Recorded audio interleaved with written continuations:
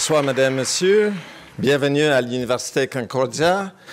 Good evening, everybody. Welcome to uh, Concordia University. Mon nom est Graham Carr. Je suis le vice-recteur à la recherche et aux études supérieures ici à l'université, and it's my great pleasure to welcome all of you to the first of four Thinking Out Loud conversations being brought to you by Concordia University and our, our grand partenaire, the Globe and Mail, on the topic of the creative process.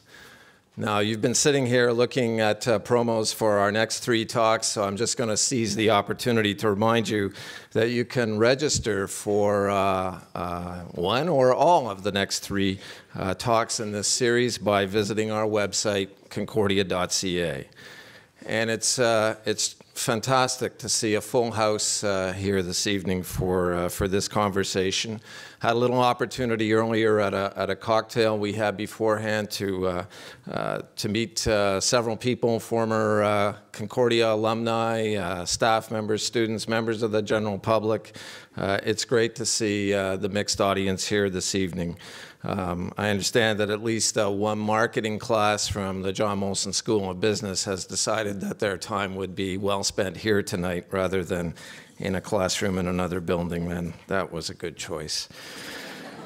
Tonight's conversation is on the subject of uh, strategies for media clutter. And our distinguished conversationalists are my colleague, uh, Charles Acland, professor and Concordia University Research Chair in Communication Studies, and Terry O'Reilly, the award winning host of CBC Radio's Under the Influence.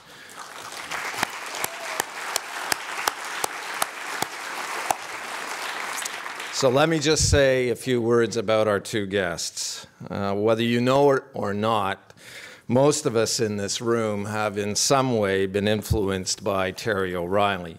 Terry began his career as copy chief for FM radio in Burlington, Ontario, and then went on to become an award winning copywriter for several Toronto advertising agencies.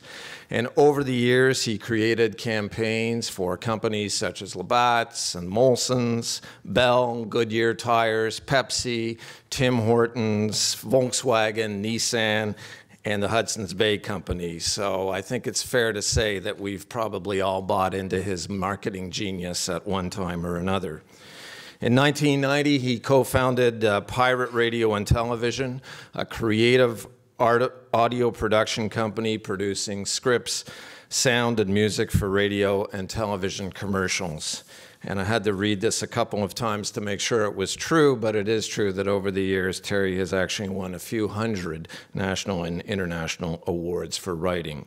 He's also directed well known actors such as Alec Baldwin, Ellen DeGeneres, Kiefer Sutherland, Martin Short, Bob Newhart, and Drew Carey.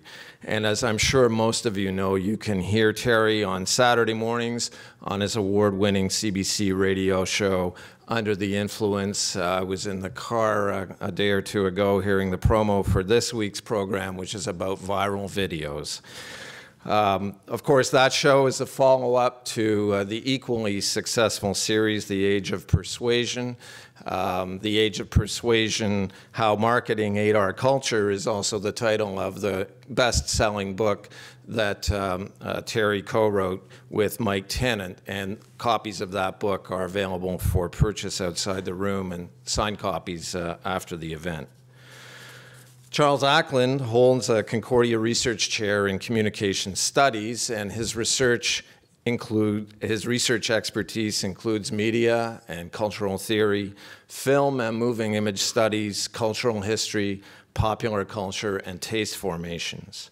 Charles received his doctorate from the Institute of Communications Research at the University of Illinois in Urbana-Champaign, and he came to Concordia in 1999 after holding positions at Queen's University and the University of Calgary. He's the author and editor of six books, most recently a book entitled Swift Viewing, The Popular Life of Subliminal Influence, Residual Media, and Useful Cinema, a book he co-edited with his close colleague from the Mel Hoppenheim School of Cinema uh, in the Faculty of Fine Arts, Dr. Haidee Wasson. And Charles will also be available to sign those books after the event. His research has been honored with national and international awards, including the Robinson Best Book Prize, the Kovacs Best Essay Prize, and the Society for Cinema and Media Studies Best Edited Book Prize. And earlier this year, Charles launched Concordia's Media History Research Center, which he co-directs with Darren Wershler, another research chair at the University in Media and Contemporary Literature.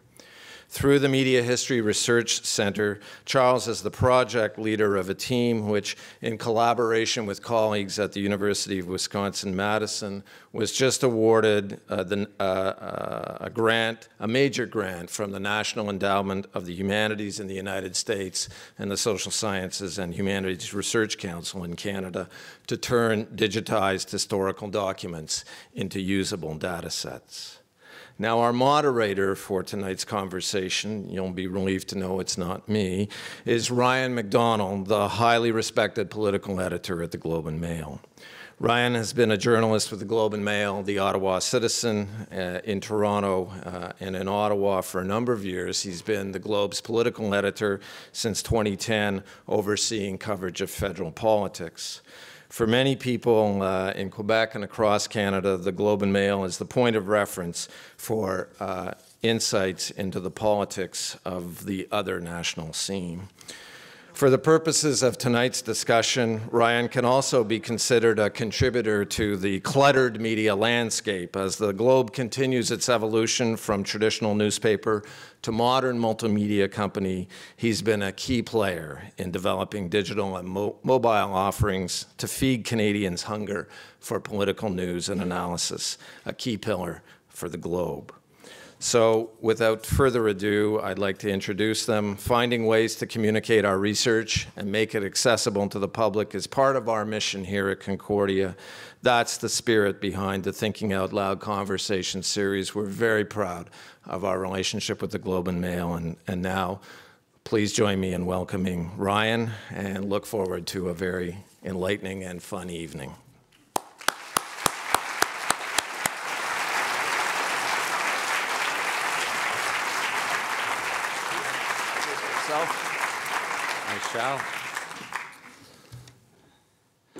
Thank you very much. Uh, good evening, bonsoir. I, um, I am Ryan McDonald from the Globe and Mail.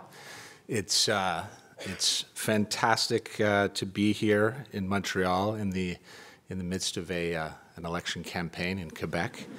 Um, and very exciting um, to talk about the latest Habs trade, I think is the, uh, the tenor of the conversation uh, for the most part that I've uh, experienced in Montreal so far. Um, we are here uh, tonight to talk about um, media clutter, which sounds a bit like uh, cleaning up your sock drawer or something, but um, the, uh, the topic of discussion, I think, is an interesting one because um, I hope uh, eventually we will get to a point where we start to talk about solutions. And um, with that talk about solutions, uh, I think there will be um, some discussion around opportunity, uh, opportunity for creative people uh, to take part in media. So where do we begin? Um, maybe I'll just begin um, by saying that uh, the Globe and Mail um, celebrated an anniversary yesterday. Uh, it was the 170th anniversary of the publication of the Globe and Mail. So, hey, yeah. Um, so uh, we've been cluttering up your doorstep, uh, hopefully for, for many, many years. Uh, and obviously, uh, things have changed. Uh, we hope we're cluttering up your email and your desktop and your Facebook and your Twitter and all of these other things that uh, we are all following media on. Um, so with that brief introduction, perhaps uh, we should just get started, and, and I will welcome uh, Charles Acland and uh, Terry O'Reilly.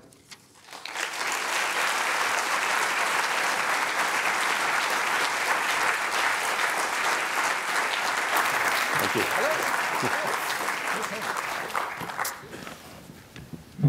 Okay, so here we are we have uh, now we've obviously had a, a, a bit of a discussion um, beforehand. We had a chat on the on the telephone, Charles and, Ter- uh, and Terry have some uh, have some audio visual um, uh, devices that, that they'll be making use of as well.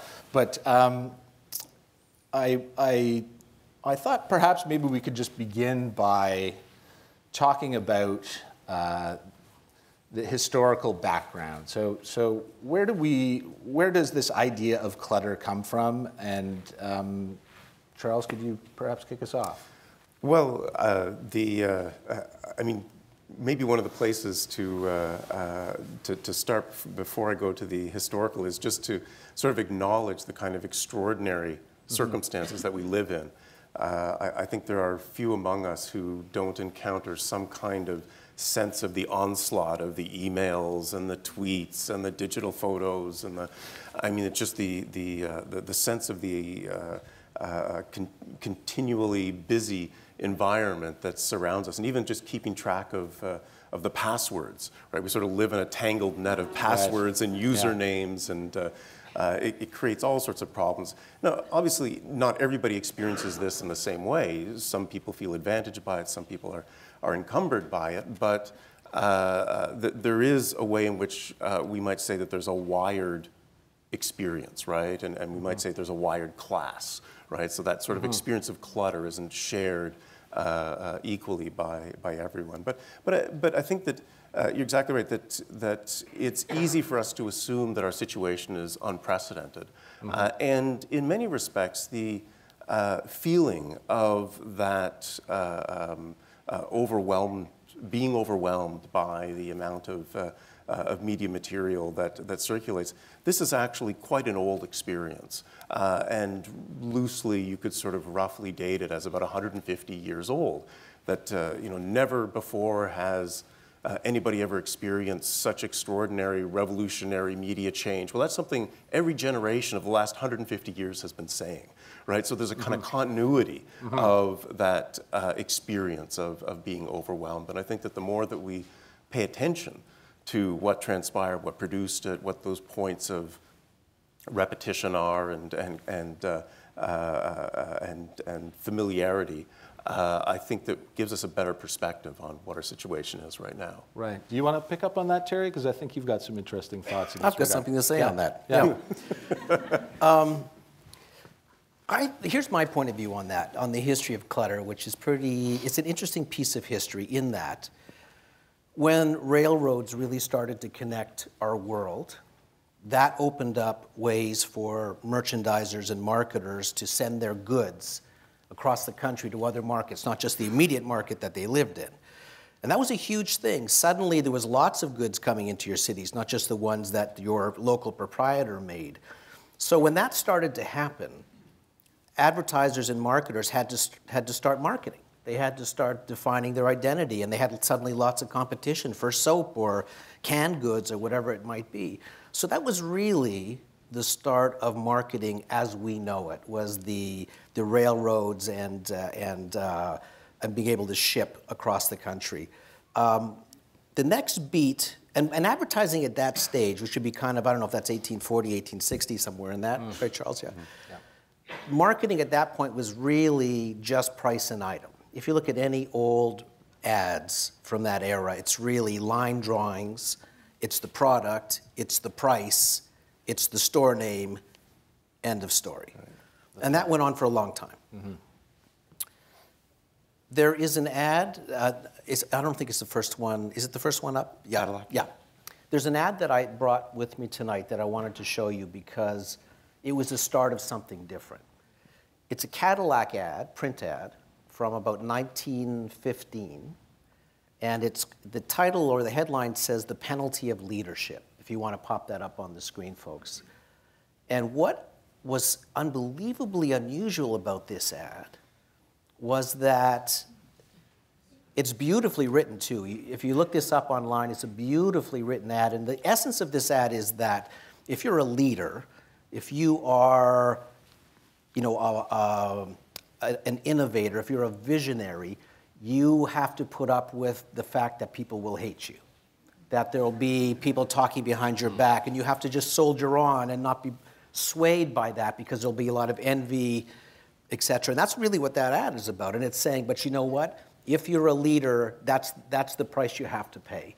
And you'll notice that, that when, you, when you do read it, they don't mention Cadillac once in that ad, except you see the Cadillac logo up there in the border, and it just says a uh, a new standard or something of that regard. Why this ad is a milestone in marketing is because it spoke to the inner man. Up until that time, all advertising was price and item. Suddenly, here's this ad that, see, the marketers figured out something very, that's very interesting and insightful that's held on to this day, which is that we're all really two people. We're the people we are, and we're the people we want to be. We're the person we are, and we're the, we're the person we want to be. And all marketing talks to the second person. All marketing talks to the person we want to be. That ad was that moment in time when marketers figured out that they could use emotion to speak to the second person. That's, and that's a, actually a, a, uh, uh, uh, it, it's, it's a good um, uh, example of uh, the, uh, uh, the new uh, conditions that people were talking about at that time. It's, it, you know, the new psychology of the Yep. modern human. Uh, and part of the defining features uh, of that uh, w- had to do with the, uh, the, the, at the time, fairly new availability of markets of culture, uh, markets for culture, uh, through all of these new mechanisms. Uh, so uh, certainly around that same time, I mean, cinema is relatively new, the phonograph is new, Yeah. photographs and newspapers. I mean, around 1900, I mean, this completely changed the image uh, landscape and the availability of, of photographs to, to uh, uh, uh, vast numbers of people. Um, even something like radio. I, I mean, you could. You That could was the internet of its time, by Right, the way, well, radio. exactly. right? Yeah, I mean, if, if you think, I mean, with cinema, you, you can. Well, Cadillac is certainly not getting the sort of 140 character message here. No, it yeah, isn't, Yeah, no. yeah, So- exactly. No. Yeah, no, not, so, so the not quite. medium in, it, in and of itself, eh, there's a bit of a, a social contract that has Yeah. to take place there. You have to commit to actually reading that ad. And, uh, peop- and people had long attention spans back then. I mean, that was the state of the Yeah. art back then. Yeah. Well, in fact, that was the concern, right? Is that with all of these new forms circulating this this plenitude, and again, radio, right? This idea that you know you turn it on and something just c- continually comes out. And the first time an into entire—if I'm sorry, Charles, the first time an entire country could hear the same sound at the same time. Absolutely, that's right. That's right. I mean, it's, it's almost like indoor plumbing for culture, Yeah. right? And uh, and this kind of nonstop. Uh, uh, people started to, to, to write and wonder about well, what are what's happening to our sensory apparatus, right? What's happening to our attention spans? And people talk about the problem of attention, which you know, flash forward to now. I mean, this is exactly Mm-hmm. Eric Schmidt. Uh, CEO of, uh, of Google, he, he says that the challenge of today it's an et- it's an attention It- economy. Attention is the oxygen of a brand. Yeah. This ad, uh, just skipping back to this for a second, the reason it, it was such a milestone was not only because it spoke to the inner person, but it cut through the clutter like crazy because everything else, and was a lot of it, was all price and item. Then suddenly, you would never see that headline on an ad. It would just be like soap, 15, you know, 15 cents. Yeah. And then you have the penalty of leadership. Boom. It just broke through the clutter, broke, sliced through it. It's almost like reading an editorial in a newspaper. I mean, it's that, that detailed in, It in and of itself. It's a commitment. Yeah, So, to read so it. that battle for attention, Yeah. um, how, how, how did things begin to change at that point? How, how, how do we get to that next level where that battle for attention, say, in marketing? Um, a Canadian figured it out. So there was a uh, probably the biggest advertising agency for its time, turn of the century, the teens and the 20s, It was called Lord and Thomas, based in Chicago. Right. They had all the big brands, all the big, you know, tobacco brands, Lucky Strike, all that stuff. One day, this Canadian copywriter, ex-Mountie named John uh, E. Kennedy, not John F. Kennedy, John E. Kennedy, sent a note to the president of Lord and Thomas and said, I have the secret to advertising. Do you want to see me? Which is a, a Yes. pretty, uh, yeah, pretty brash note to send up to the president of an agency. So he was so intrigued by that note that he said, Well, send him up. So up comes this Canadian in Chicago, and he says, Here's the secret the secret is salesmanship in print. That was an epiphany. Because prior to that, it was all, like, it was just around this time, right? Prior to that, it was all price and item. And when he said salesmanship in print, what he was saying was persuasion. and influence. And that's where it really, the 20s really took off in my mm-hmm. industry for persuasion and, and influence and, and, and, and the psychology, as Charles mm-hmm. references, of mm-hmm. marketing. Does that bring us to a, a little bit of the notion of brand as well? I mean, I know um, I, I work in a, a media marketplace where our integrity, the integrity of our brand, is basically all that all that we have. That's right. It's it's it's everything that we offer to people in the sense that we are something to be trusted. So where, where does that take us psychologically? What's the what's the factor there? What's Well, you know, I mean, w- one of the things that I think is, uh, uh, is significant about that is the importance of uh, being able to, I mean, one of the things that Malcolm Gladwell talks about is the stickiness, right? So it's the reputation, it's the, uh, it's the longevity, uh, but it does, there is a, a significant challenge to make sure that whatever it is you're particularly uh, invested in, in, in, in pushing at a particular moment is going to, in some way, uh, rest and, and have a, uh, have, have a life uh, in people's minds, that it's sort of the first thing that they, they think of when they're thinking of whatever the, uh, uh, whatever the shopping uh, enterprise or shopping challenge is at that moment. And at exactly this time, with trying to manage all of this plenitude, um, people begin to realize that when people are encountering cultural forms and, and advertising, they're not necessarily sitting and reading them in their entirety, right? So you need to be able to orchestrate things that can be grasped in pieces, right? That maybe, what does it mean to appeal to the glimpse, right, rather than the focused gaze? Um, and this is something I, I, it's not the next slide, but it's two, two over, which I could go ahead and, Yeah, and sure, speak let's- to now if we could have two ahead. Um, this is a device that's uh, called a tachistoscope, and it was actually used in uh, psychology labs uh, in order to test and measure and describe uh, the, uh, uh, the, the limits of our perceptual apparatus. In other words, trying to gauge how quickly we can either see or recognize something. It might be words, it might be groups of words, and so on. What's interesting about this uh, instrument of, of the psych labs actually begins to have industrial purposes in the 1920s. Uh, by the 1950s, it's used to teach speed reading. Uh, it's sold, and this is what that, that advertisement is here. It says you can, you can increase learning uh, uh, speed, you can, you can learn faster with this particular device, which is basically like an overhead projector that, that flashes things very, very quickly, sort of an automated flashcards, if you will. Um, and, and here's, uh, th- this is one, uh, uh, one, such, uh, one such example. Um, the other place where it's used uh, is adver- uh, among advertising firms. It was begi- they begin to use it in the 1920s. Why do they use it? They want to test and see, okay, will this, what will be remembered of this ad, right, this magazine copy as you're flipping through, right? What will jump out? What will stand out? And, and you realize it's not, it might not necessarily be an entire word or a slogan. It might be instead uh, a font, right? It might be a color. It might be a mood.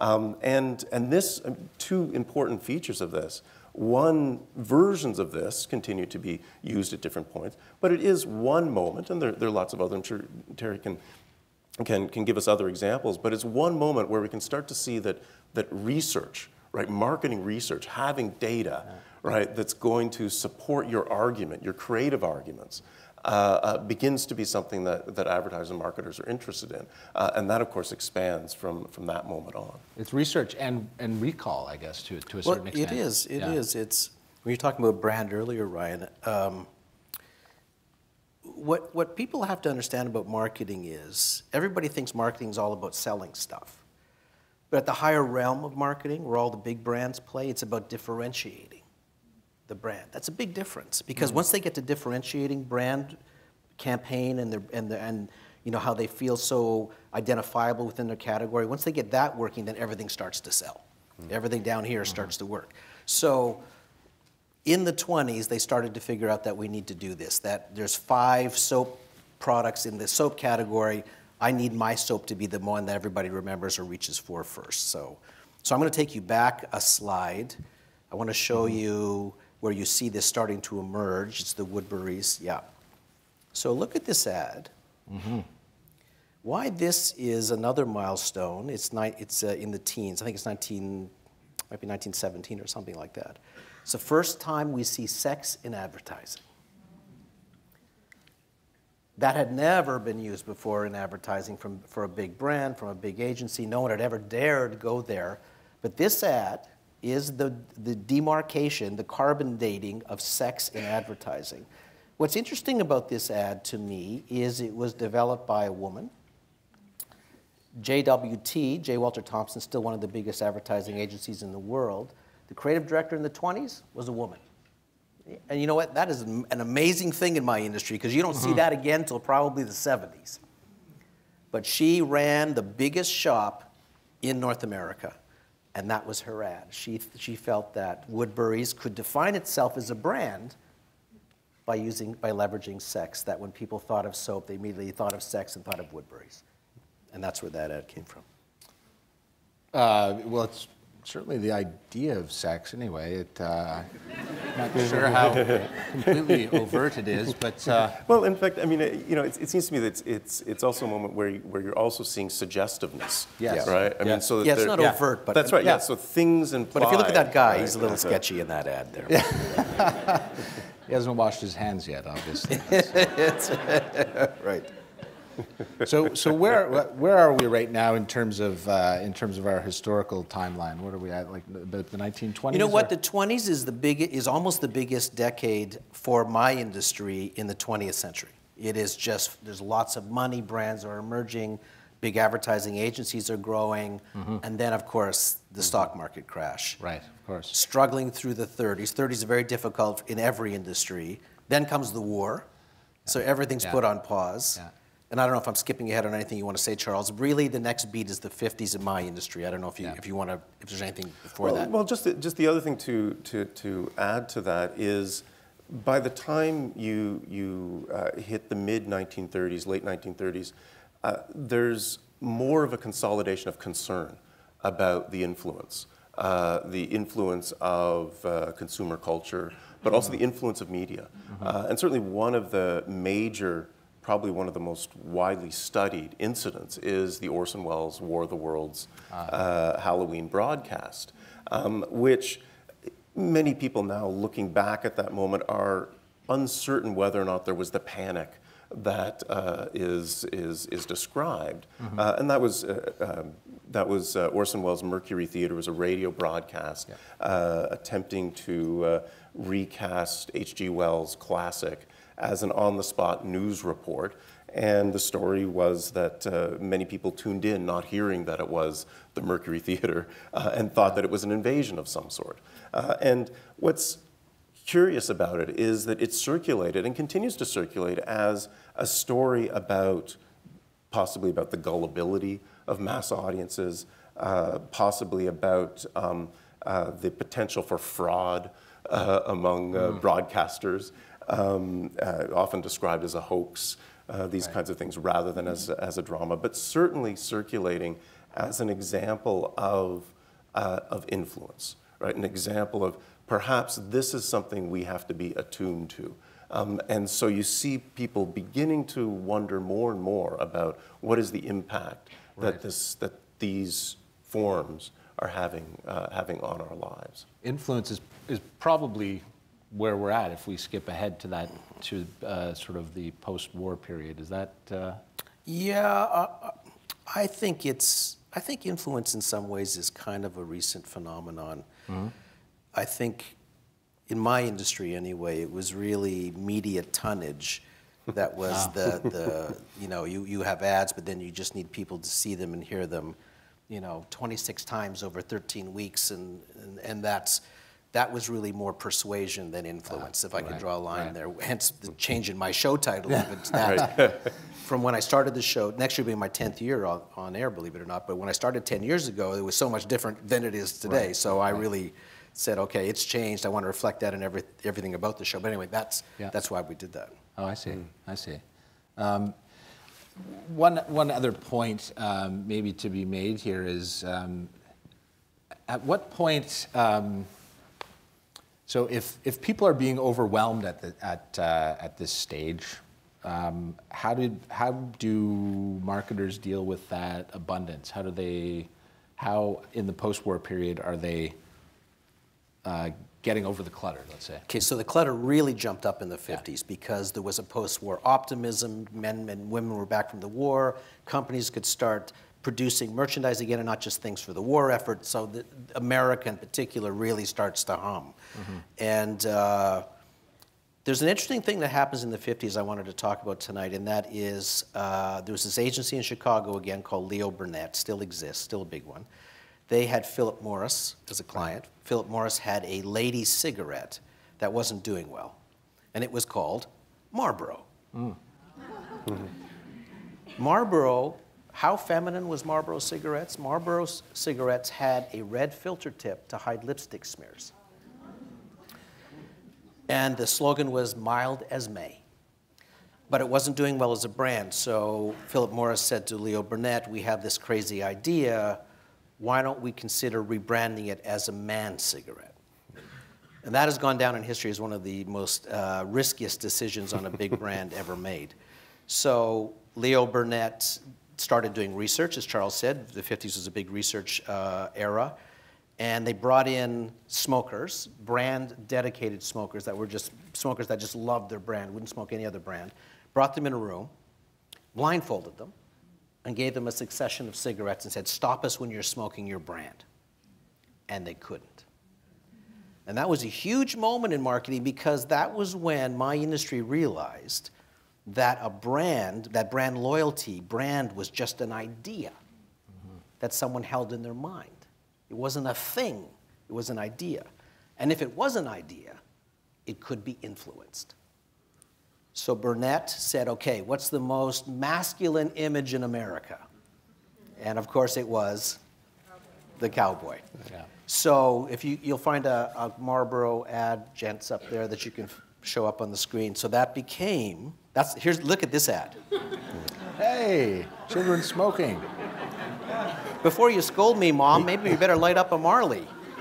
Yeah. You don't see that very often. No, you don't see kids in, in, uh, in uh, cigarette ads very often. So that's when it was a female cigarette. That's the kind of advertising they were doing. And then when they, when Burnett tried to change it to become, or thought maybe we could change it to become a man's cigarette, if you go to the next ad, of course, there it was. And that, like I say, that was a big milestone in the thinking of influence in, in advertising that you could, by using repeated imagery of one of the most beloved images or icons in America, because Americans love the, the history of the, of the Wild West. It's a big part of their culture. By showing this kind of imagery, in one year, in one year, it went from being a declining female cigarette to being the number one brand in New York State, where they just did a test market of it. They just said, okay, let's try this in New York State. Number one brand in one year. Rolled it out nationally, number one brand within two years nationally, just using that imagery. So, so you see how influence came into being and how they tried to cut through the clutter by knowing that a brand was just an idea someone held in their mind.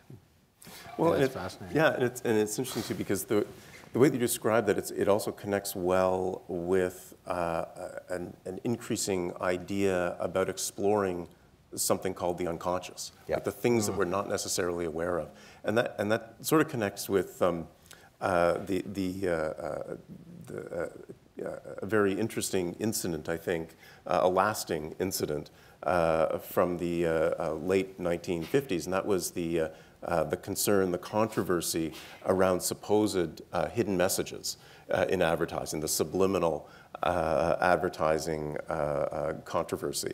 Um, and that, uh, that event uh, really was sparked, on the one hand, by a market researcher, uh, James Vicary is his name, who claimed to have extraordinary uh, evidence that hit, things that you can't see uh, affect you more than the things you can see, right? The kind of the hidden, the imperceptible might claim to have extraordinary evidences, and of course was willing to sell people, right? The, the spots, these invisible Yeah. spots. Uh, and what's kind of wild about this story is that uh, uh, uh, it sort of takes off, right? It's this kind of obscure, hard to pronounce term, uh, subliminal, uh, and it moves into the English vernacular. Can, can I say something there yeah, too? 'Cause sure, what- yeah, yeah. part of the zeitgeist of that era, if you remember, was the McCarthy hearings. Yes. Of course. So suddenly everybody's Yes. thinking there's communists in our midst, Yes. Yeah. and they're writing our movies, and we didn't know they were there. So that whole collective paranoia Absolutely. led to that, right? Absolutely. Well, and in fact, the, the month that this breaks is September uh, 1957. Sputnik is October 1950, right? So all of this sort of coincides. Right. You're absolutely right about that. Well, the, the response uh, was, on the one hand, there was curiosity. The first, uh, uh, the, the first uh, public event uh, uh, was reported that all of the journalists ran to their dictionaries to find out what this, what this term means, this sort of below the level of perception, below the level of awareness. Um, there were uh, congressional hearings.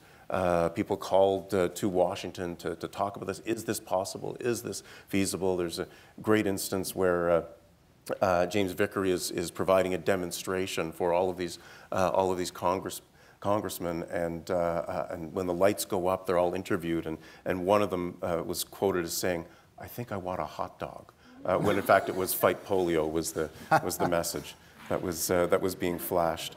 Um, but th- there were also all sorts of humorous responses too.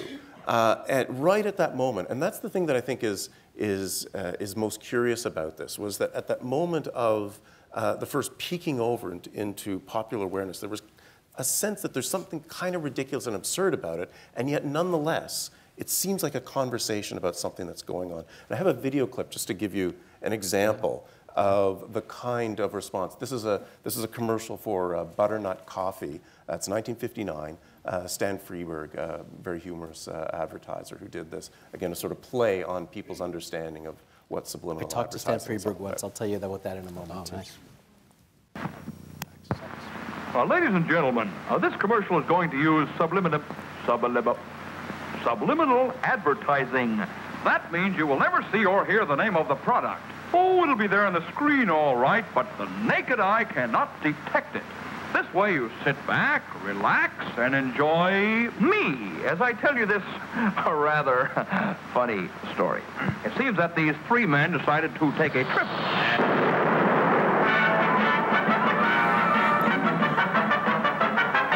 The second guy goes back to the dry cleaner, says,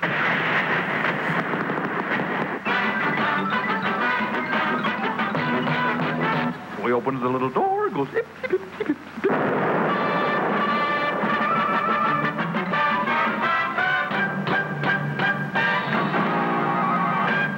So the third guy says, yeah, but you better bring back the hangers.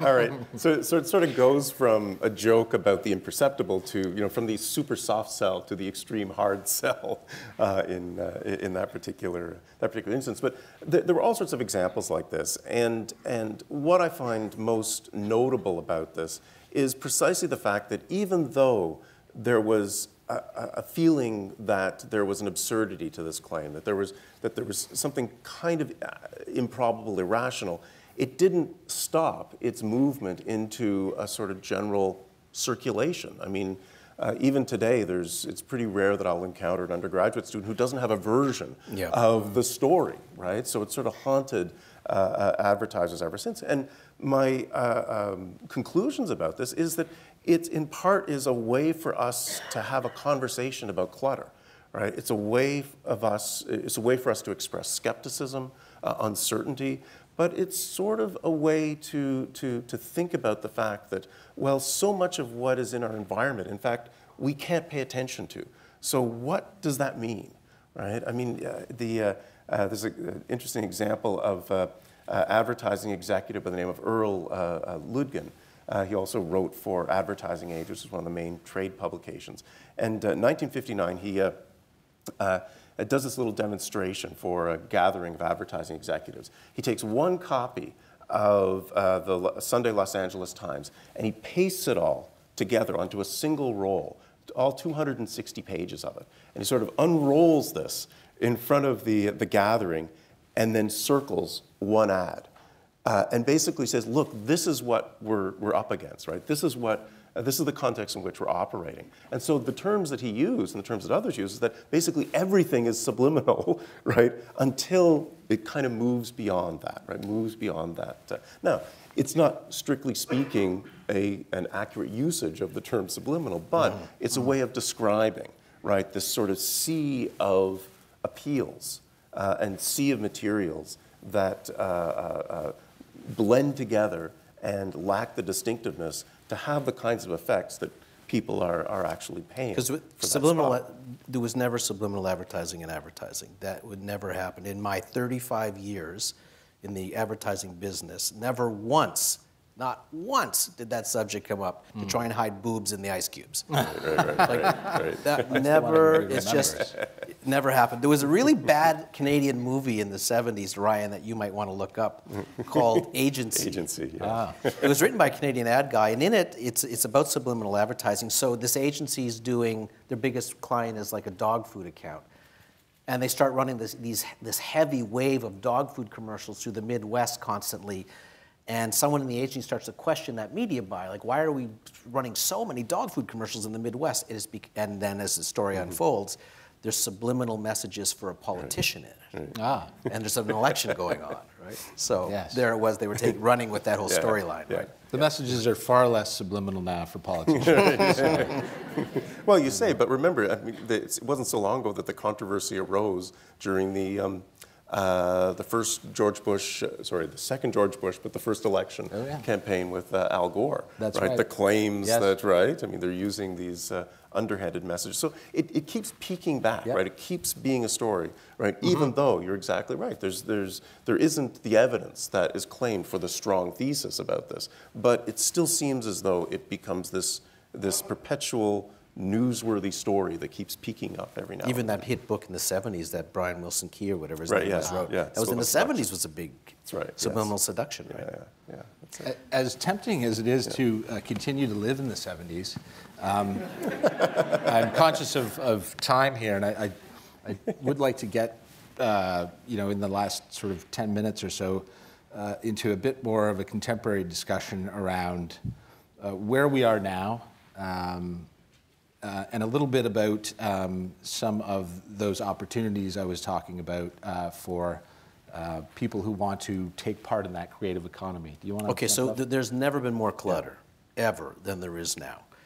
And I was saying on uh, CBC today that it's a strange thing about my industry. We create so much advertising, we put it out into the ether, and then we spend every waking minute trying to break through the clutter. Like we're the only industry that really creates our own brick wall that we spend all day trying to pick through. So I don't think clutter's going to get any less. It's just going to continue to grow, in my estimation, because there's so many more places to put advertising now, not just on the boards of hockey games, which is my pet peeve, but uh, I mean, it's it, everywhere, and now it's online, and now it's Facebook, now it's promoted tweets. It'll, it'll just continue to grow. The one thing that's in my industry that's starting now is data mining is a big thing, and I've addressed it many times in my show. And what that it's interesting about clutter because here's what that means. You know that example Charles gave you, where you know you roll out 200, you know, the roll of the Los Angeles Times, and you know you're trying to find one ad and the clutter of that. Or I always use the analogy: if you think of a Super Bowl stadium full of people, and there's one guy across there trying to wave and get your attention, you're on the other mm-hmm. side. That's kind of what advertising has to deal with every day. The way we've done that historically is through creativity. Right. So when we want to break through the clutter, the best way to do it is to have a really highly creative ad, and that's what creative people are paid a lot of money to generate. What we're moving into now is a new era of data mining where Ryan's buying a car, so I'm a car company, car manufacturer. I start tracking uh, Ryan online because I notice he's been to our site a couple of times. He's looking at a Ford, you know, a Ford Escape, and he keeps coming back. So then I start to track you online. I just now you're at Chevy, now you're mm-hmm. here, now you're at you know uh, Hyundai, but you're coming back to me. I start tracking you. I start to gather information on you, what your salary is, what you know, all these things about you. What I don't have about you, I buy from other retailers or air, airlines, whoever's got other pieces of your information. Then when I see you're on a finance site, a car finance site, I know you're ready to buy. Hmm. So then I hmm. send you an ad, not the world. I send you an ad that says, "Hey Ryan, I, I noticed you've been you're in the mood for a car, truck. You, you like the Ford Escape. here is a, a $1,500 rebate. So that ad was sent to the right person at exactly the right time, and no one else in the world saw it but you. So hmm. this is a whole, now you don't Yeah. need creativity. Yeah. Now you just need data mining and, and absolute exquisite timing. Hmm. So that has implications on clutter because there was a, there was a politician in, in the States that I talked about on my show that he was running for mayor against the incumbent mayor. The incumbent mayor was well loved in this little city. The, uh, the uh, challenger for the mayor's position took out all these Facebook ads. And he, he did 16 different ads. So one was aimed at teachers, one aimed at firefighters, one aimed at moms, one aimed at dads. And the, on each of those ads had specific messages to those groups. And he just sent them through Facebook. The incumbent mayor, meanwhile, did a traditional campaign with TV ads and billboards and newspaper ads. And doesn't the challenger win? Mm-hmm. And what's amazing about that is the mayor, the incumbent mayor, never saw one of his ads. Mm-hmm.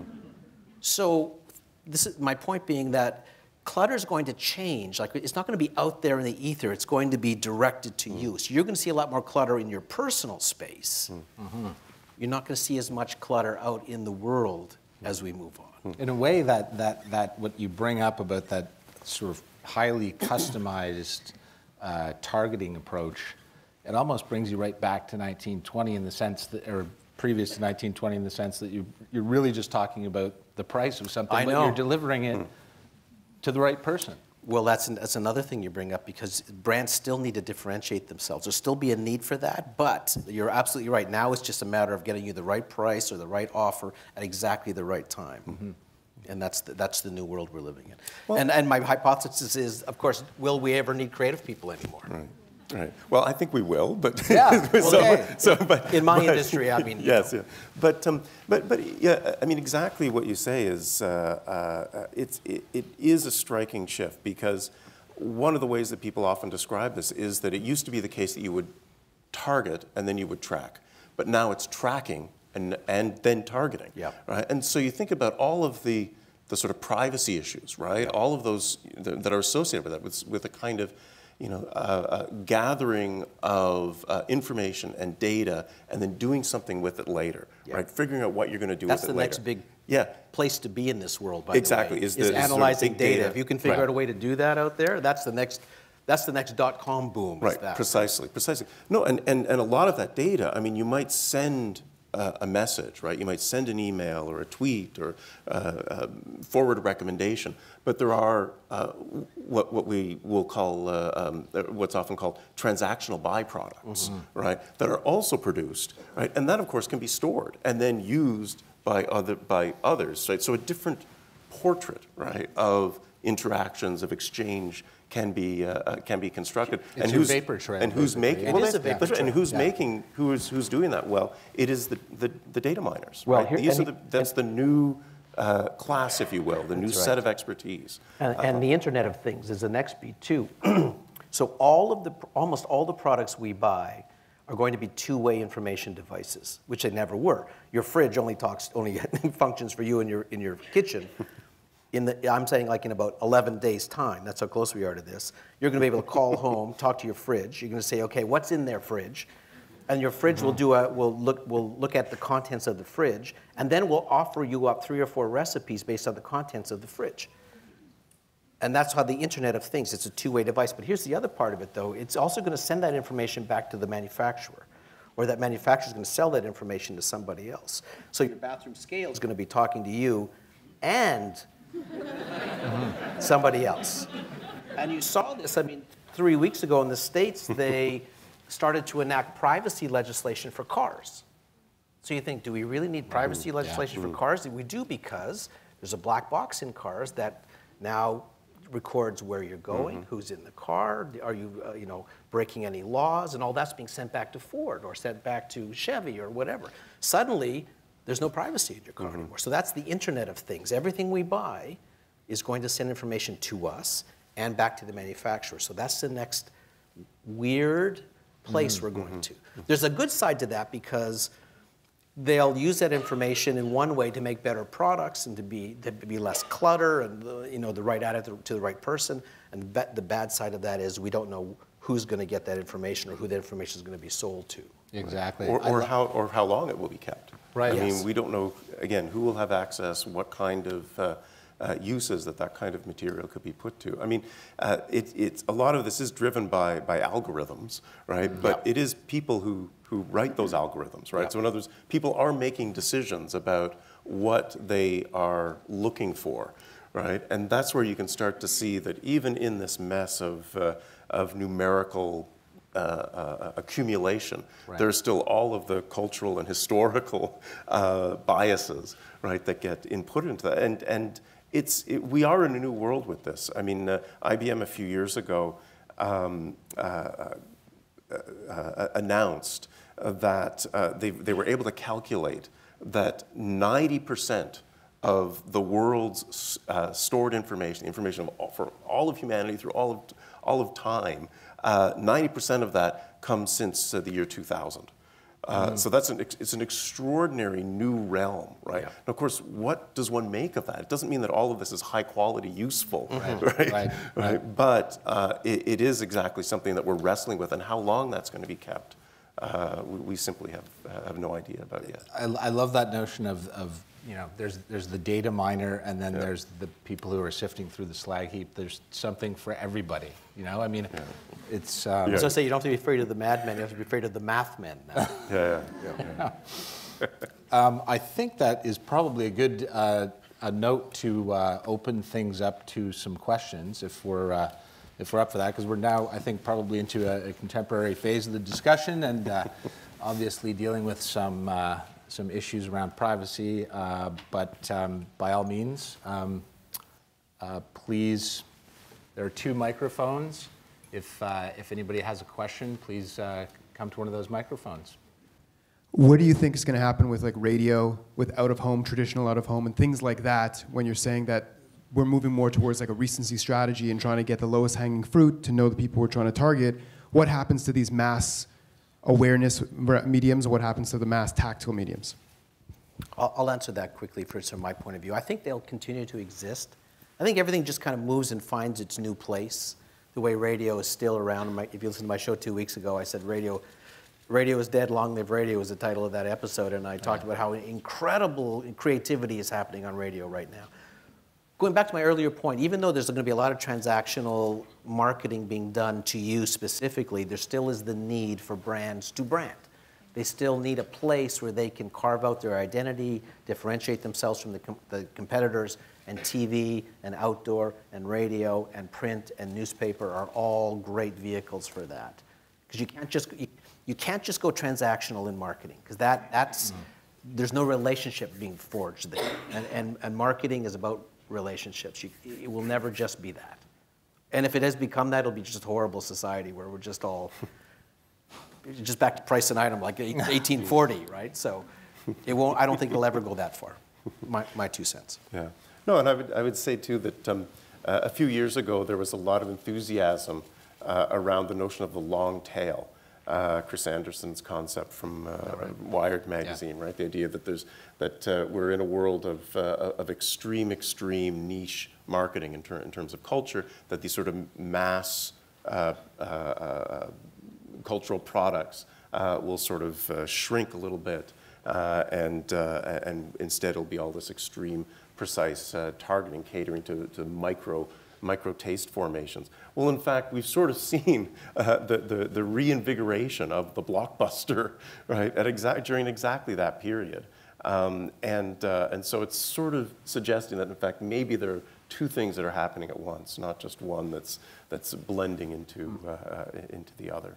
I saw some stats too just last week that television advertising has grown. Yeah. It's, right. it's, as, That's it's right. as robust as ever. Wish I could say the same for print. Um, another question over here? Hi. Um, I was just wondering, you're talking about um, brands using customer information to sort of direct target ads to them. Um, but then you're talking about how important integrity and brand loyalty is. How do you think that brands can deal with um, sort of overcoming the fact that they're using their customers' private information to then sort of re- how can how can consumers trust brands that are using information about them? You know, how how can brands deal with that? Well, that, that is the key. That is the, that's the whole gist of, I mean, that's the razor's edge that, it, that a brand is walking right now is gathering information about you, more than you think. Because remember, you give a little bit of information to your car manufacturer, you give a little bit of information to the airline, you give a little bit of information to your insurance company, a little bit of information to your credit card company, and they're all trading information. So it, you have to put it, you just have to know, that's all. You just have to, uh, like I, I always say, you just have to know that that's going on and just be smart about it. My three daughters give away all their information online, drives my wife and I crazy. and the reason they do it is because they want, they've told us this, they want relevant stuff back. So they get no spam. My wife and I get spammed like crazy, and we call them the wrong ones. You know what I mean? I mean so, I mean, it's, it's, it's a tough one, but brands, once once you sniff that a brand is misusing your information or selling your information, or if you get it, like you will never buy from that brand again. You, you, well, we all feel that way, and brands know that too. So they got to really figure out a way to, to remain, to have integrity in that transaction. It's true. It's, it's not always easy to opt out, right? I mean, there are ways in which people might want to to. Uh, uh, to, to, reserve a little bit or to, to, to, to not provide certain kinds of information. And it, sometimes it's difficult not to. It is. Right? I bought a pair of socks the other day, and, yeah. and like, it's a pair of socks at a store, and they go, phone number, please. I'm like, right. what? Right. Why? Really? Yeah, yeah I don't really? that one either. And, yeah. and again, and yeah, and it might, you know, in that circumstance, you think, you know, you, you can refuse and explain politely, you know, only so many times before it just becomes, okay, here's my phone yeah. number, right? There was, uh, when uh, Facebook uh, first had its uh, uh, IPO, its, its, its initial public offering, there was a, a joke that circulated online about that, which was saying, why did Facebook go public? Well, because even they couldn't figure out their privacy settings. it's changed a little. And you should read privacy, you know, that thing that none of us read. Yeah. Because it's not saying it's private. What they're saying yeah. in that is, here's how we're using your information. Yeah. So it's you really, contract, yeah. yeah, you got to read. It's, you know, it's not written to be understood, but you got to be, you got to read that stuff. Uh, another question over here. Now, now I'm not sure I understand your question. You're asking, would Coke and Pepsi share information? No, it's not. No, Coke and Pepsi are, are competitive corporations that we're going to be fighting against each other. Mm-hmm. What I'm referring to are, are open source collaborative organizations that function horizontally, that function in a way that invites people to collaborate with them and work together, where the where there's no patents, where it's it's copy left, not copy right. Um, they function entirely differently. I am not sure if you am I bringing new information to you. No, uh, give me give me give me an example. Linux. No, no, okay. That's just that. Okay, that's not brands though. That's not marketers, right? Well, Linux is in competition with Microsoft. Uh, they use there's Ubuntu, which is growing market share. We have Firefox is in competition with Chrome. It runs faster. Um, it isn't necessarily better, but it's open source. It's collaborative. Everyone has access to the information that is used to create it, and so anyone can can test it. Uh, Microsoft sees so many bugs because all of their source code yep. is private. Mm-hmm whereas Firefox, anyone can help out and, and open it up. I under, okay. I'm not sure. All the, all, this infor- I'm not sure how to respond. Yeah. I'm not sure. The information, the information overload. I'm seeing a lot of leaks. I'm seeing a lot of uh, cracks, and there's a lot of uh, private companies that are holding information, and then hackers will break in and then release tons of information out into the wild. So I'm, I'm seeing that this information can then be utilized by just about anyone. Um, I'm wondering your thoughts on, on the, the idea of a, a wild west of information being out there and how, how it can be used uh, in general. It's a, maybe it's too broad of a question. Charles? But, but yeah. uh, well, well it, it is a broad question, but uh, you know, I mean, I, I, I think that you're, you're pointing to some of the still developing, uh, still information, uh, information kinds of uh, potentials uh, some of which I think could produce some extraordinary, extraordinary results. And, and you gave a couple of examples of that. Uh, I, I, mean, some of the things that I, uh, that I wonder about, though, is, uh, for instance, there, there's, um, uh, I, I, what I've seen in, in other quarters is a kind of devaluing of uh, the sort of labor that goes into certain forms of cultural production, right? So on the one hand, uh, there's, a, there's potentially a, a wonderful uh, moment where we're all able to contribute uh, and, and to produce a kind of community uh, form of, of participatory development. And on the other hand, uh, there's also a point at which uh, it's, it's kind of giving away expertise. Uh, and, uh, and so I know that one of the industries I follow very, very closely is, is, is the film industry. And I can see that the ways in which all sorts of hive sourcing right, becomes a kind of outsourcing.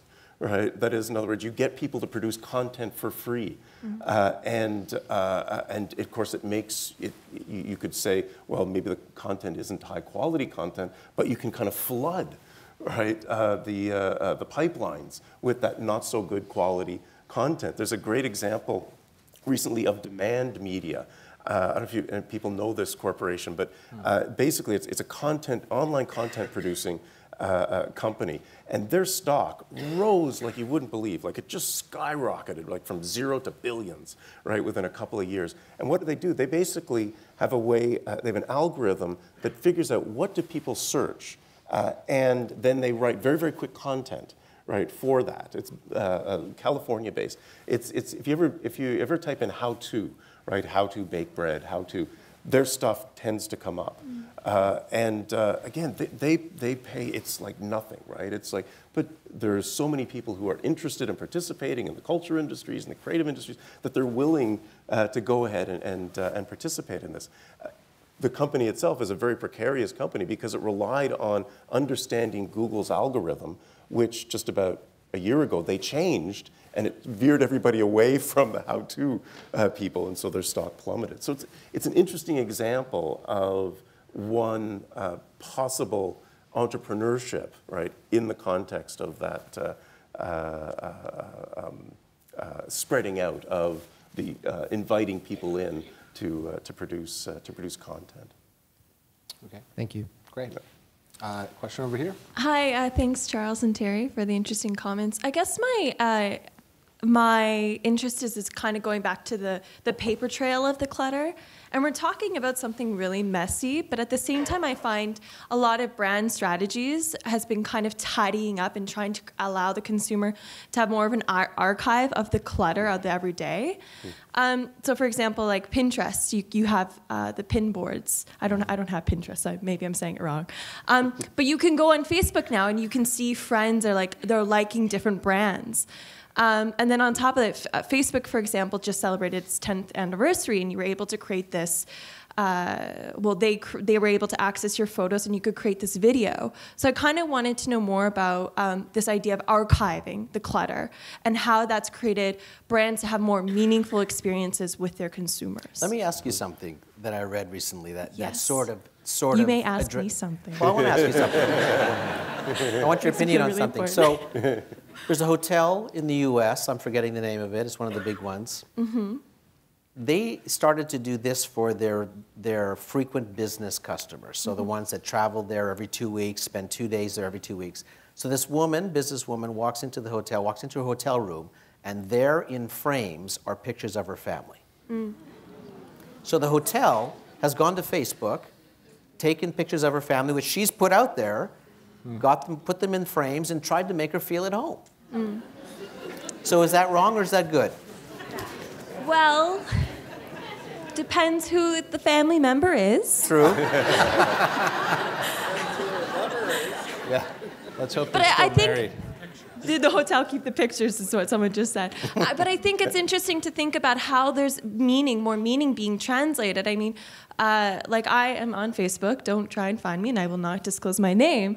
But um, this idea of how do you um, how are they trying to make it meaningful? And it's like I think that it's funny that we're talking about how messy it is, but somehow these new transactions are becoming neater and neater. So that was the hotel trying to make it meaningful, right? Trying to take something yeah, posted publicly, yeah, and, and I, I think it's it meaningful, right? It's complicating this clutter and the ethics around the clutter, and that's I just wanted to kind of know more about your opinions on how is this going to uh, change the contemporary moment of what we're talking about decluttering the media often when we talk about archives and collecting, uh, we often think of it in terms of the function of amassing, mm-hmm. right? More and storing more.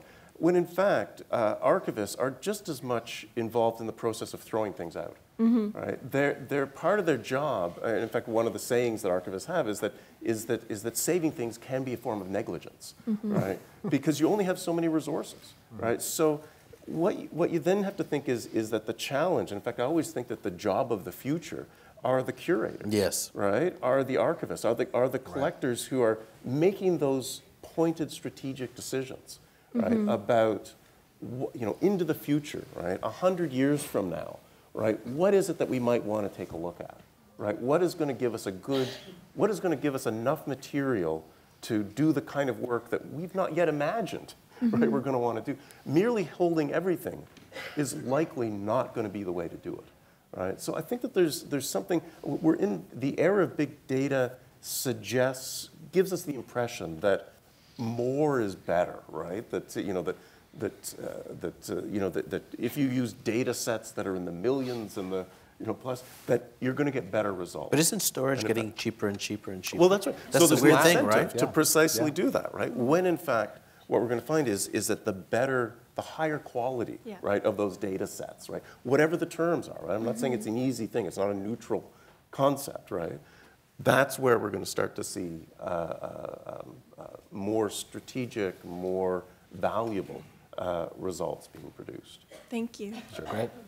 Over here. Hi. Um, first of all, thank you. Great talk. Um, my question refers to, I think it was Ryan made a joke about how our current internet advertising strategy is has gone back to the beginning. It's gone back to the basics. You know, it's name and price. Um, but I already have software on my computer that enables me not to see those ads. I have them shut right off. It's super easy. One extension took 10 minutes to install. But on the other hand, I will go looking on the internet for an ad that I have heard is funny. If a web, if a, if a, you know, a corporation, an advertising firm designs a whole web page that's really engaging and it's all an ad, I don't care that's an ad. I'll watch it anyways. And I'm wondering whether, based on the sort of the way this talk took sort of cyclical turns, you know, it starts with railways, it goes until the war, it starts again at, you know, base level in the 50s and expands into the 70s. This whole deal. I'm wondering if right now, with the internet, we're looking at a sort of a baby form of a new cycle. Like, is, is internet advertising going to take a whole new form based on people like me and other, I'm sure everybody else in this room has done this. Someone says, oh my God, this ad is so funny, go look it up. And you do, and you enjoy it. And I'm, I'm wondering whether it's, you think, I mean, obviously we're not going to predict the future here, but you guys are experts. Mm-hmm. Do you think that that's, do you think that that's where it's headed, or am I completely off the mark? I, thi- I think you're right. I think? I think we're at the, we're at the cusp, we're in the diaper stage of a whole new world. I mean, there's no doubt about that. So I agree with that in a huge way. Now, marketers are resourceful, and they're going to figure out your plug-in in about 10 minutes. It's been a while. and, uh, and they're going to get around that. And, uh, and you know what? I mean, it's just about. I mean, I'm a, I'm a marketer. I mean, there's, there's, there's a, a, a lot of really wonderful marketers out there. They have a lot of integrity. They just want to, you know, try and put their product in the best possible light, et cetera. Then there's other ones that are that'll use that data in a whole other way. And I think you're right. I think in this new world, you cannot, you almost can't purchase attention anymore. You have to earn it. And that's, mm-hmm. that's another big change in our world. And I think viral ads, you know, or, or funny ads that you, someone tells you to go watch, that's, that's what's happening now is you have to use high creativity to, to get attention. So I think that is the new world. You can't purchase attention anymore. You almost can't afford to purchase attention anymore. It's too expensive. Okay. Right. Uh, there was a question over here, and then I guess we've got two more quick ones, and then we, we should probably Yeah, wrap. thank you. Um, first off, uh, I'd like to say it's interesting, the title of the conference, when I heard media clutter, it's where kind of joking, it's kind of innocuous. To me, clutter is what my little daughter does, but clutter in the state of media now is kind of concerning. And I said as someone who's actually politically interested, and I'll make the link to politics. Politics is branding, right? Politics is branding and marketing. And we've had in politics since the late 80s much more targeted marketing. We've never had more cynicism towards our political institutions and actors.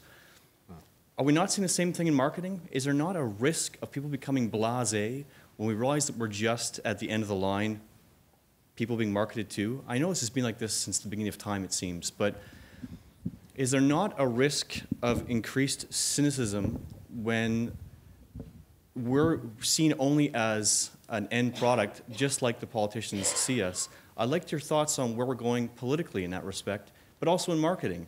If can we assume that there's maybe a saturation point at some point where people, not in large numbers, but people start to turn out and tune off, and we have to find new ways to reach those people? I think we're 10 exits past there. Mm-hmm. I think that's, that's the eternal struggle of marketing is indifference. So I think, I think that's been around for a long time. And I think that's what we as marketers have been battling forever is the indifference that clutter, you know, in the, starting in the 50s and the 60s and the 70s and the 80s really bred. And that's the issue that we're at now is that it is an enormous amount of indifference from consumers for, for marketing and advertising. And that, that is, there we are. I think we're there. And politics too, I think, too. In terms of the numbers, we can see that we've never been more cynical or disinvested in politics. I- I've said this as someone who's suppose I about to vote in on one, that so- a little bit. I, I mean, I, I, I would like to think that uh, we are at a point where uh, cynical politics is um, hopefully on the wane. Um, but uh, I think Terry and I were just having this discussion. There will always be um, politicians um, and political campaigns people will attack each other. It, it, is, it is part of the vernacular of, of, uh, of politics these days. Um, I think to a certain extent, what we're seeing right now is that there is um, there's a bit of voter fatigue, and um, hopefully that voter fatigue will, at some point, um, force politicians to say, we've got to communicate in a different way. Um, I, I, I would hope. You know what the worst colla- collateral damage to me in that scenario, Ryan, is that people stop voting. Mm-hmm. It's not that they, you know, I mean, they are, they'll vote for the other party because they've started to hate your marketing. Is that they don't vote. They, they Right. stay home. Right.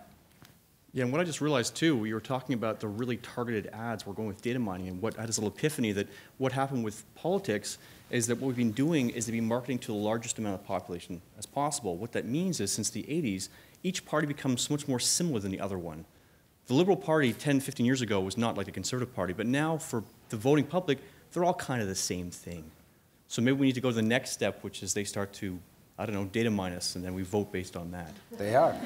They- the, the, the parties are data mining. Um, when Justin Trudeau goes in and meets uh, people in a crowd, there's somebody behind him asking you for your name and, and your email. I mean, it's, it, it is all related to this discussion. And political parties uh, are trying to build databases. The Conservative Party of Canada has probably the biggest and, and best, I would, I would say, of, of the federal parties. The Liberals are trying to do it as well.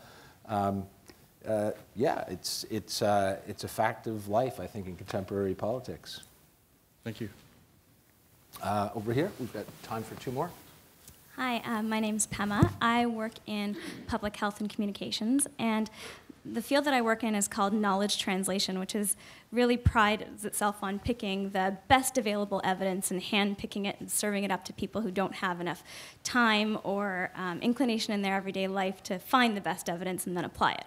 So to me, that just sounds like a fancy way of saying communications and marketing of the stuff that's out there so that they can apply it and make the work that they're doing more effective. But your comments on the tobacco industry really struck me because I know there's a lot of work out there on the different ways that um, tobacco products are marketed, whether it's e-cigarettes now and the debate on marketing them as um, cessation tools, or um, water pipe and what we know about it and what we don't know about hookah, and um, the way that cigarette packets in different parts of the world are made to look like Hello Kitty packets so that they can be sold to young kids, or um, they're getting skinnier and more pink to, so that women think that they're good diet tools or like so i was just wondering on if you have uh, thoughts on how, what the role of science experts and experts who actually understand the evidence um, behind, that is out there so the curators of what is that best hand-picked evidence what's their role in working to declutter that cluttered media landscape when it comes to health and science information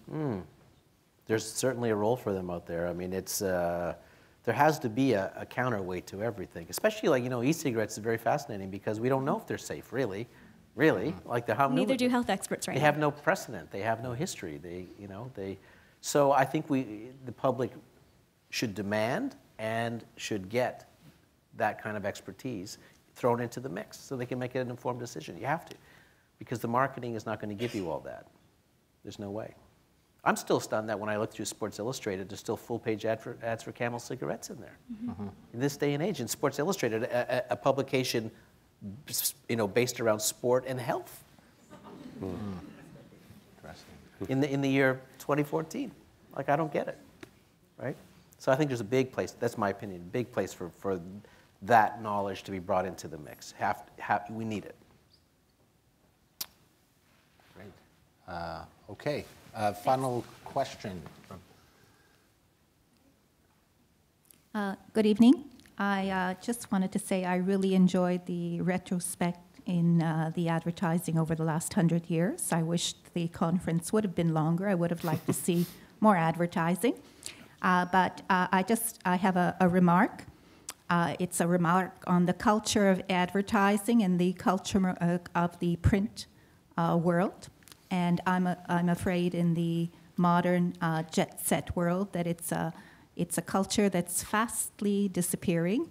The uh, technology, it's amazing. The websites, the links, the technology today, it's amazing. But I'm from a culture of people where um, a, a retail culture where um, uh, we, we, we, we loved the, um, the print, uh, the publications department choosing the quality of the paper for the retail bags, the print of the, of the, the bags, um, also the corporate brochures, the different papers available in the paper industry. And I find that uh, with the modern technology, which is great, super great, that that art, because it is an art, it's an art that dates back Yeah. so many hundreds of years, the publishing uh, media, it's fastly disappearing. And I think that this culture, it, this, this has to be addressed somehow uh, in, in communication uh, conferences Yeah. because we're losing that. We are. Well, it's um, you, you know, it's, it, the the image that's that's up right now. Um, it's it's one of the reasons that uh, uh, that I like it is, is to demonstrate part of what you're part of what you're talking about. This is from 1964. Uh, it's it's was a moment when the term information explosion uh, was just uh, circulating. It was a term that came from actually IBM. It was uh, who, uh, had an advertising supplement that uh, uh, talked about the new onslaught of the knowledge society, information society, and of course all the things they could do to help you with that. Um, Daniel Boorstin writes The Image, and in fact, in that book, a very popular book about the new context of the, the, the, the image world that, uh, uh, that surrounds us, uh, he talks about the graphic revolution uh, that's, that's, uh, that's transpiring uh, saying that there are all sorts of new ways in which, the, in which print is, uh, is, is presenting itself. Um, and, and, this is one example that, that I like because this idea of the kind of exploding newness, right? And if you look at all of those terms, I mean, when I look at this graphically, it, it's, it's not that far from the word clouds, right, that, that circulate today as a way, as the iconography of plenitude, right, as the iconography of, of, of big data. It's not that, and if you, if you can actually read some of the words here, uh, again, this is 1964. To, in order to signal newness 50 years ago, are words that likely would be used today if we were to do a similar graphic. Online computers, algorithm, software, silicon. I mean, you can see them, and not all of them would, would be as current. And so for me, there, there's something about the, the, the continuity, right? The ways in which here's a 50 year old idea about the future, the new, uh, the, the exploding uncertainty, the anxiety that might be produced by all this new information, and uh, a, a, a, connection to the situation that we're in now. Similar kind of experience, similar mode of discussion, and I would say similar kind of iconographic uh, uh representation in, in print. But the publishing realm is continuing, but uh, with all the ebooks and everything. But in essence, we're losing um, uh, we're losing part of the The craft. cul- the, Yes. the culture of the art of publication. That's Yes. what I'm trying to express. Yeah, Yeah. yes. I mean, I, I've seen that even in my career where, where there was typesetters and, Yes. and, and, and uh, typographers that, I mean, that whole career is gone. And that, and that was just one of the best parts of creating a print for me was watching a, a- typographer come in with type and, and kerning and, and uh, you know, putting every letter in place in every word. It was just, it was a beautiful art, right? And it's gone. It's just gone. I know uh, one of the challenges uh, working for a newspaper is, uh, is, is that very thing. Do people still want to have that tactile experience? And uh, when we redesigned the Globe and Mail and decided to go to a, um, a glossy stock, that was our value proposition, was that this is now a luxury product. You don't want to get ink on your hands, we'll give you... Was that the reason for that? Yeah, yeah, yeah. Um, so there you have it. We're, leaving you with an information explosion in your, in your minds. Um, and uh, I would just like to thank uh, Terry and Charles. My pleasure. Thank you.